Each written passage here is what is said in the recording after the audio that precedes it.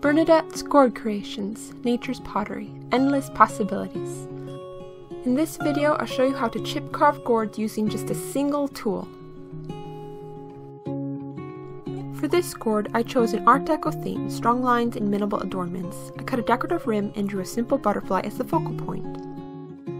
To make a band of alternating chip cuts like I did, draw vertical lines spaced 3 4 inches apart around the circumference of the gourd. The tool I will be using for this introduction to chip carving is a quarter inch deep U-shaped hand gouge by Ramelson. Begin by making alternating stop cuts. Use the gouge and push into the gourd, rocking a bit to make sure you cut into the gourd using the entire U of the blade.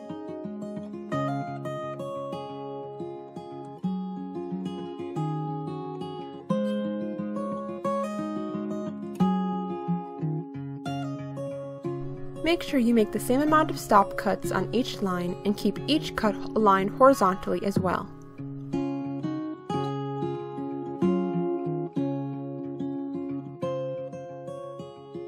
After you have finished with the stop cuts, you will need to draw more vertical lines to keep the other half of chip carving, the sweep cuts, even in uniform. Eyeballing everything here is just fine. Make a line in the middle of your stop cuts, then lines on either side of that line. You'll be using the two outer lines to guide your sweep cuts.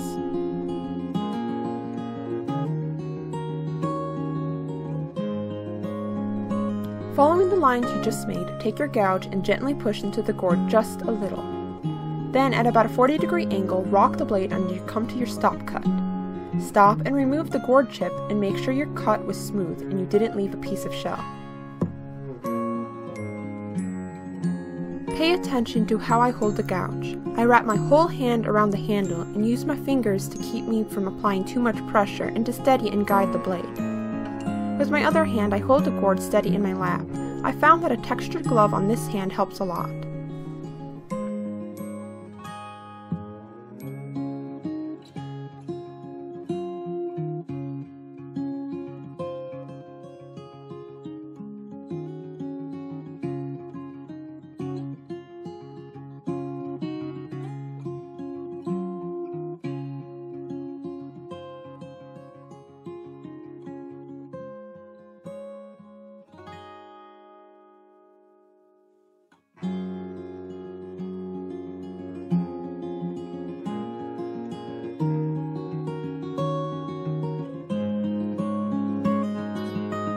You can leave your chip carving as is or dye it like I did.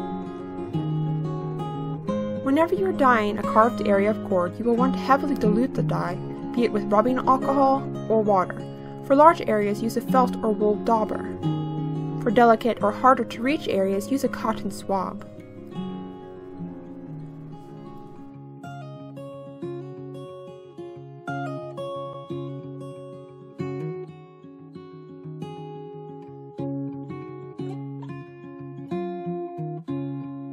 Wipe away any excess dye with a paper towel.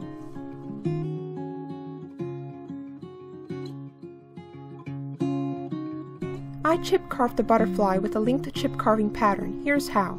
Take your gouge and make your stop cut with one side of the blade cutting into the previous stop cut.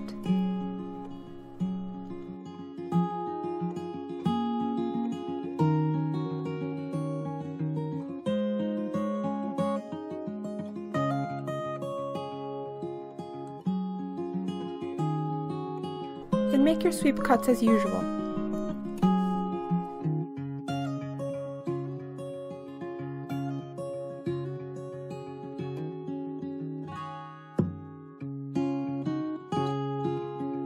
As you see, sometimes the chip doesn't break off very cleanly. No problem, just go back with your gouge and make a cleaner cut. Now let's see this linked chip cut again.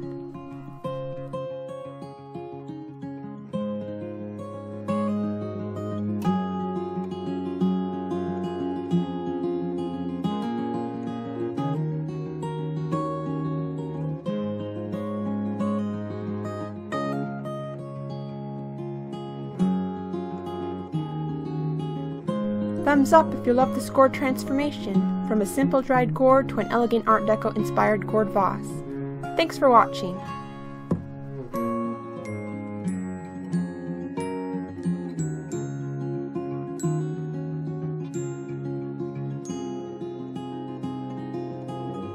Make sure to subscribe to my channel for more DIYs about art, crafts, gardening, and more.